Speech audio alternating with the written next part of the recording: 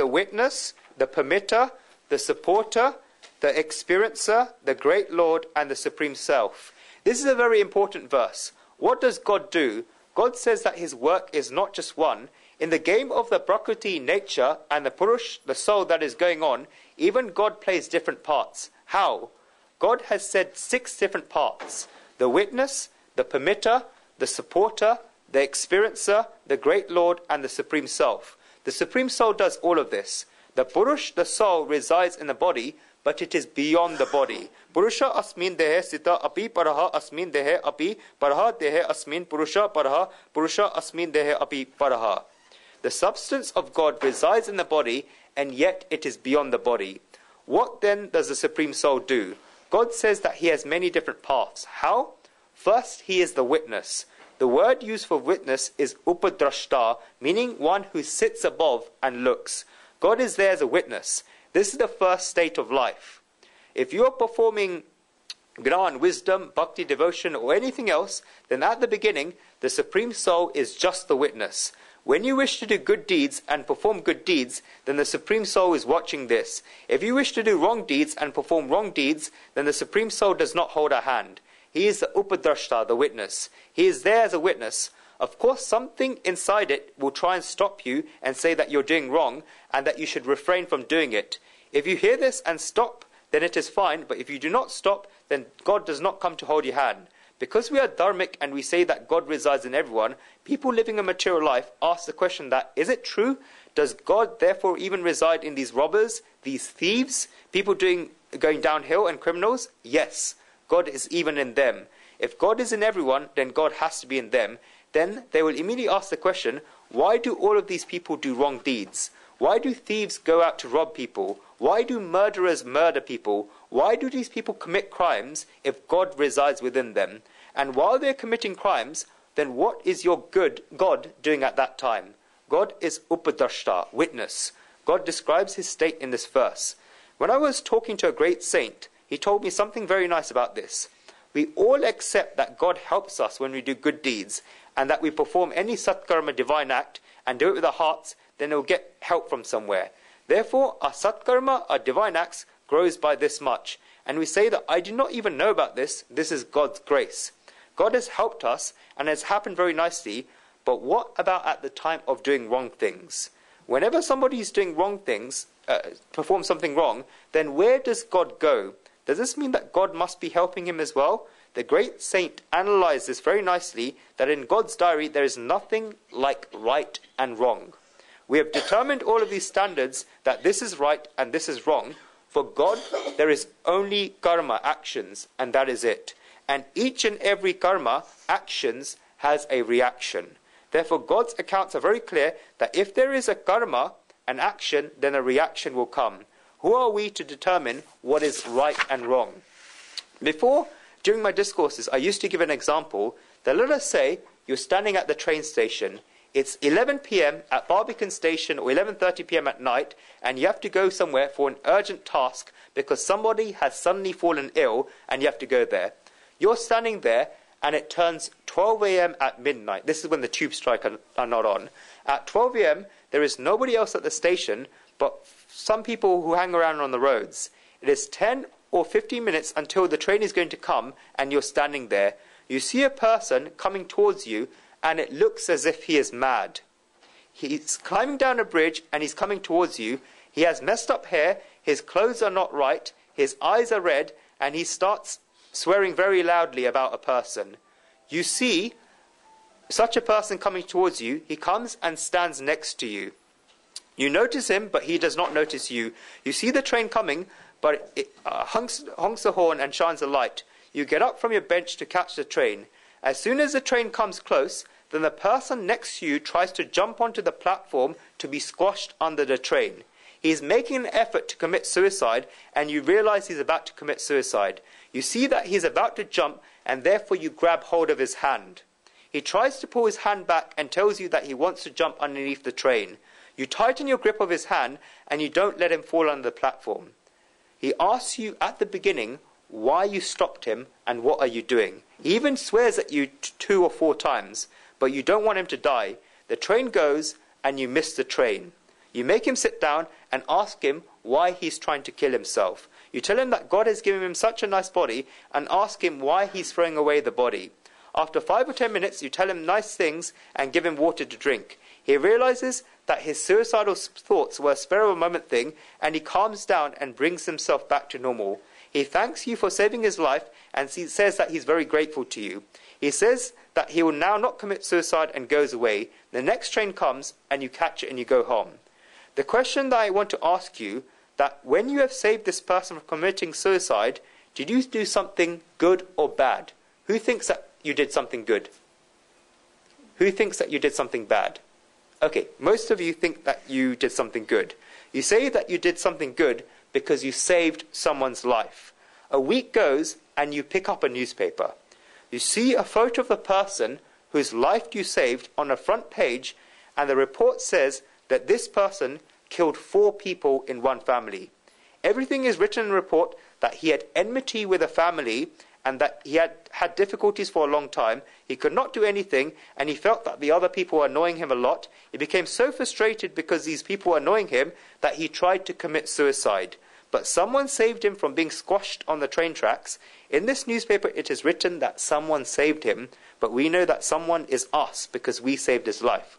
It says in the report that somebody saved him and that this person went home and thought that, let us say that I'd gone on the tracks today, I would have died. He then decides that I will die, but I will die after killing these four people.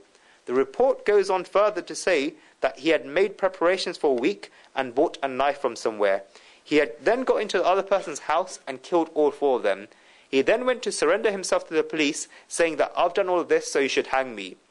Now tell me that when you saved that person's life a week ago, did you do something good or bad? Who thinks you did something good? oh, something bad. Who thinks he did something bad? because if you had not saved him, then he may have died, but these four people would have been saved. You saved one life, but four lives went. If you had not saved him, then would four people not have been saved? They would have been saved. Therefore, have we done the right thing by saving him, or have we done the wrong thing? Now, it feels as if we have done the wrong thing. What I mean to say is that no action can be prima facie right or wrong. It is a kiddish attitude that we merely sit in the chair of the judge and say that this is wrong action and this is the right action. Just look at the development of the world and look at the great history of the world, and you realize that you cannot really tag the actions. You cannot really label them that this is a right action and this is a wrong action. This is a kiddish attitude. What could be a good for us could be bad for the person next to us. If 10 to 12 youngsters get together for a night and are playing music at maximum volume, then while they're dancing and jumping, then they find it's very good. Is that karma of theirs good or not? But the sleep of the person living next to them is ruined. Is this good or bad? This one karma was enjoyed by 10 to 12 people, but it annoyed the person next to them. Therefore, a karma can never be right or wrong. In God's diary, there is no box that says that something is right and something is wrong. No. A action is an action, a karma is a, karma, and a supreme soul is seeing that these arrangements that where one that will get the reaction of what one is doing. Then how does God see all of this? Remember first of all that we ourselves decide to do wrong actions, and there is no such thing as wrong action for the supreme soul. Logically speaking, there can be no such thing as a wrong action. There is no such thing as a right action and no such thing as a wrong action. An action is just an action. A karma is just a karma. In an example that I gave earlier, a right action became a wrong action. It can also be so that a wrong action can become a right action in the long term. There are examples of this throughout history. A very great saint has told me this himself. He told me that his father is not alive today, but his father lived a very pure life and a dharmic life. This is around 55 years before today. When he was young, his father's leg had to be cut off. He got a small infection and it turned out to be diabetes. It got so serious that his leg had to be cut off. At that moment, this great saint thought a lot about it that my father is living such a dharmic life, he has not done anything wrong to anyone. Why is his leg being cut off? Why does he have to tolerate this pain? Why does he have to be put in this state? This is injustice. This should not happen to him. He found it very bad at the time. Then around 20 years passed, and his father reached an old age where he had a heart attack. The doctor gave him treatment, and when the doctor investigated this, then the doctor found out that his heart was so weak that the fact that the heart attack came to him at that time meant that the heart attack came very late. His heart was so weak. The doctors themselves found it so strange how this person was able to live for so long with such a weak heart. After consulting four or five doctors, they found out and they told the great saint that his father would not have been able to live for long because his heart was so weak, but the reason why he was able to live for so long because his leg was cut off earlier in his life. This was because the blood that would have had to be circulated in that leg no longer needed to be circulated there, and the heart got that much less strain. It led to much less of a burden to the heart, and as a result of the fact that his leg got cut off, they told him that this was the reason why his father was able to live for 15 to 20 years more. At that time, the great saint realized that this was the grace of God. At that time, the leg went away. The great saint thought that something uh, wrong had happened. But when he found out about this 20 years later, then he thought that it was a good thing that the leg got cut off because the leg went away, but at least his father remained for 20 years more. What I mean to say is that there can be no karma, action that is right or wrong. A karma, an action, is only a karma, action. What then does God do? God does only one thing. He looks at the involvement of the human being.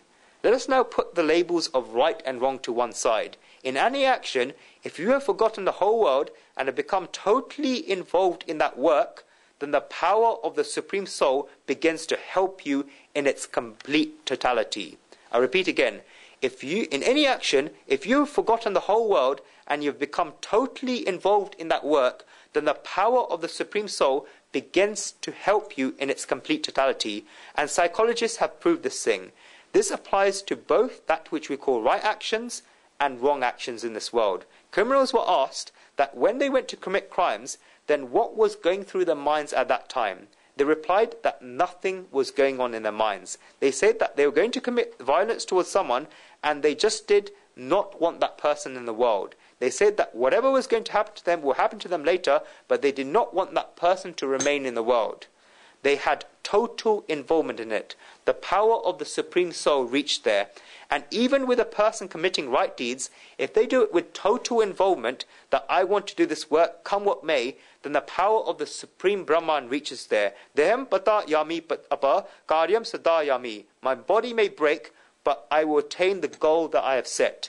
This is because for God, the karma, the action, is just a karma, an action. Towards the consequences, God is the upadrashta, the witness.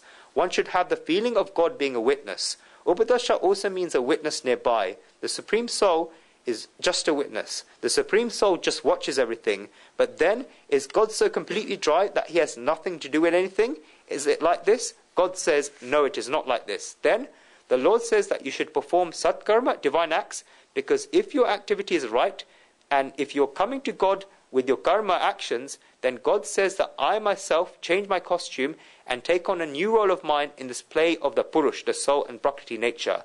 At the beginning, I was just there as the Upadrashta, the witness, looking at everything from the wing inside, but I feel that you are coming towards me and you're trying to become mine, and I immediately become the Anumanta, the next one, Permitter. This is the second state that comes. Anumanta means one who gives encouragement, so that one does not lose their stomach to work. God becomes this. The difference is made there. God is in wrong people, but God is only in these people as the upadrashta, the witness. For people doing good deeds, God changes his field a little and becomes the anumanta, the permitter. That is why God says from within whether the work is right or wrong. When one is about to commit a wrong deed, then God says, do not do it. And when one is about to do a good deed, then one gets bliss from the inside that I'm doing a right deed and my God is getting happy. God is the Anumanta, the permitter. One who has experienced the bliss will know that one who is performing activities to go near towards God will know what nice blessings the supreme that what nice permissions the supreme soul gives from the inside when the child learns to walk and is taking the steps right? Then the mother stands there and says yes son that is right. Yes come on come on son. The supreme soul says it in the same thing same way that the mother is saying. God becomes the anumanta the permitter when you begin to perform satkarma divine acts one after another then god becomes the anumanta the permitter then god says that he takes a third field where he becomes the bharta the supporter. God supports a perform, person performing satkarma, divine acts. When the child begins to take bigger steps, then the mother goes two steps further and picks up the child. The mother becomes the bharta, the supporter, and picks up the child.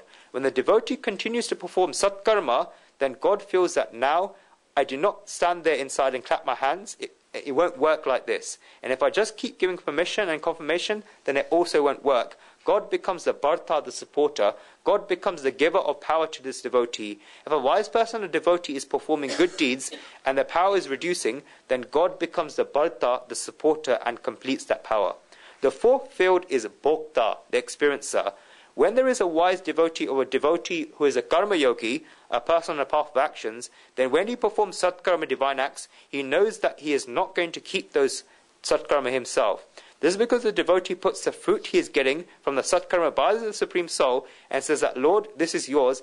Everything I have is yours. For these fruits of karma that come, God becomes the bhokta, the experiencer.